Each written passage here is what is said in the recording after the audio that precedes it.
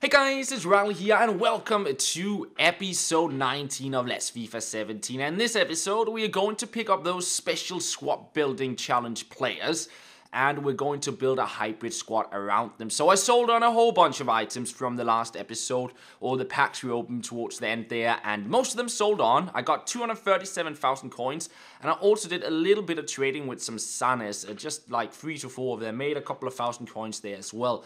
And then it was time to pick up the squad building challenge players, uh, and that was of course the Scream Team players. Now I wanted to get Payet as well, but I had to um, face it. I could not get enough coins to get Payet, Costa, and Gaspar. So I settled for Gaspar and Costa. And um, yeah, I picked up these Scream Team players between 54 and 55,000 coins. I got two Mandzukic's. I would get one Calhanoglu and one Salah card. Now, um, I was sort of hoping that after the 1st of November, where their boost disappeared, they would go further down in price, but they didn't really do that. And in fact, it was last weekend they actually were on the cheapest, down at around 40,000 coins.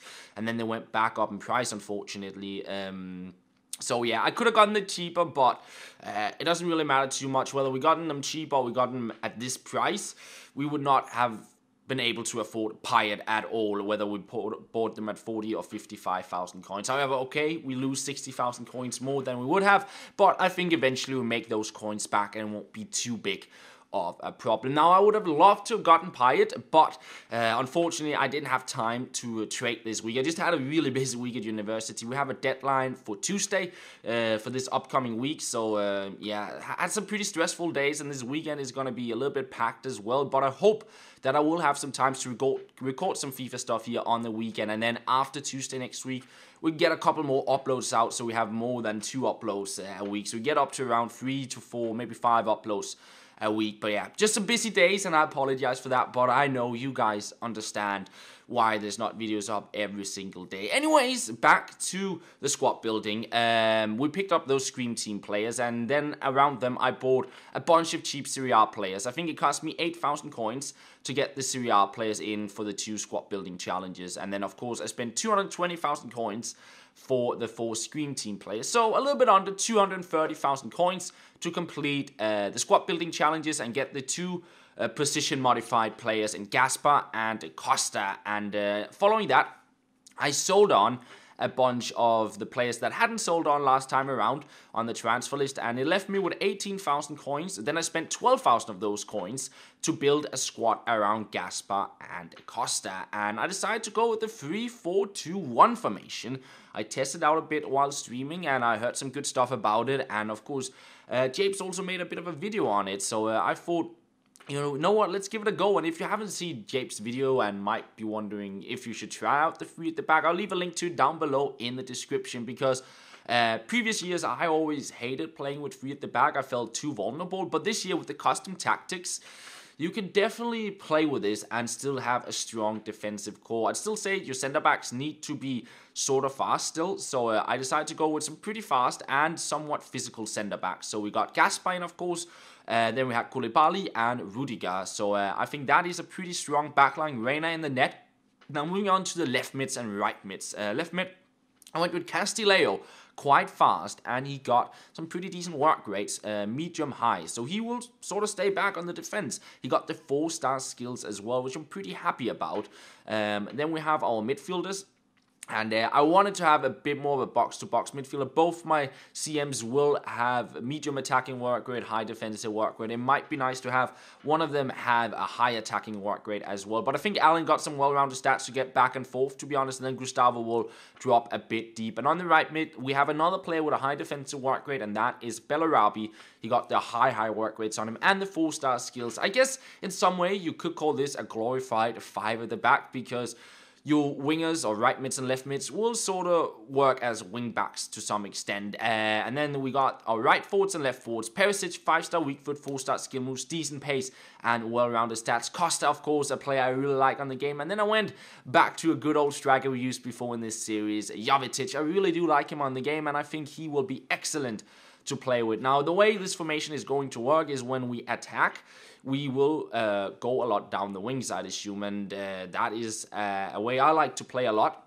And then now we have two sort of two players on the wing that can skill uh, right mids and right wingers or right forwards, I suppose. So uh, going forward, I will have.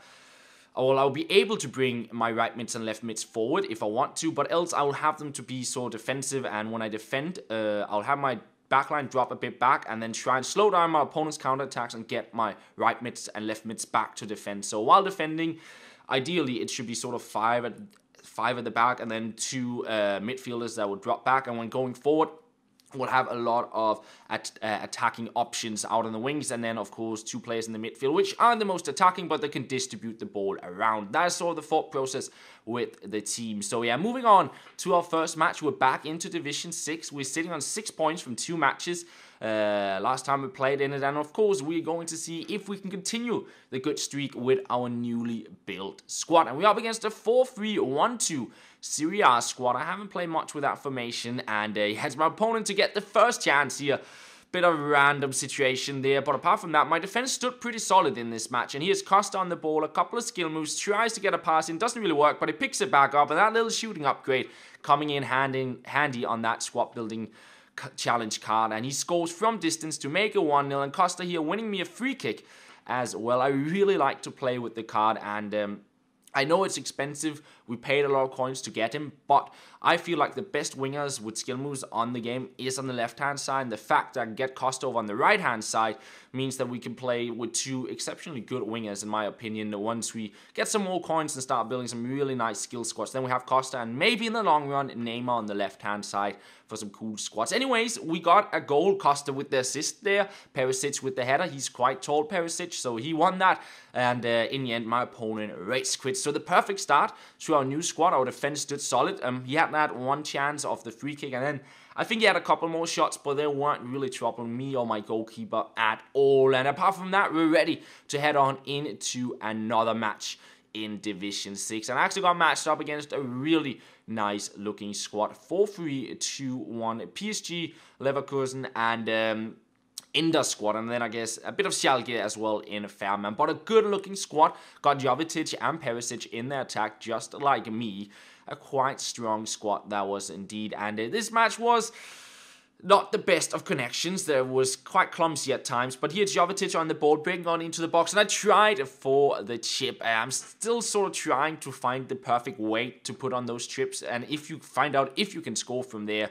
But uh, yeah, here we use the advantage of having two wingers. Bellarabi completely open, trying out a shot, but hitting the crossbar there unlucky not to get the goal. And here, my opponent with a crazy long shot just wide off the post. For a second, I actually thought that one was going in. But again, we use our left mid here in Castillejo, bringing on four. We find Jovetic, and uh, we get a shot in.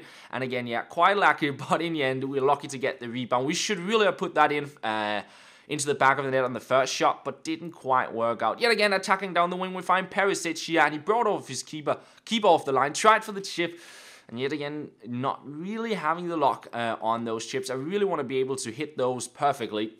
So it's going to be some trial and error trying to sort of find the sweet spot for the chips. But we go into the box here. Costa on the board beats the player. Yet again, we try for the chip. And this one almost perfect. And in the end, we are lucky to get the rebound. Jovetic with yet another goal to his name making it 2-0. My opponent sort of getting the ball here, all sorts of random stuff happening in the box because apart from that, I felt our defense stood very, very solid. At least my opponent, though, couldn't hit the target. And uh, yeah, being up 2 0, I feel a little bit more confident. We got some more skill moves going. I do find it quite difficult to break down people this year with skill moves compared to previous years, especially with the AI defending. It is just like it's very, very, very difficult to get past at times, um, especially if your opponent's standing uh, quite defensive like they do in the FUT championships. Uh, I struggle a little bit with the skill moves, but uh, of course, going up with the two goal lead, I got some skill moves going here, and in the end, I would pick up a free kick here with Douglas Costa. And of course, we're going to give that a go. Free kicks is something I haven't practiced too much this year, but we got a pretty decent effort in here from Costa, but the keeper would save that in the end. And I really dislike how you can't really see where the shot is going. It always changes the angle just as the ball gets to sort of the goal and you never really see what happens. I wish they would change the angle back to how it was last year. Anyways, we won this match. My opponent had six shots but not on target and most of them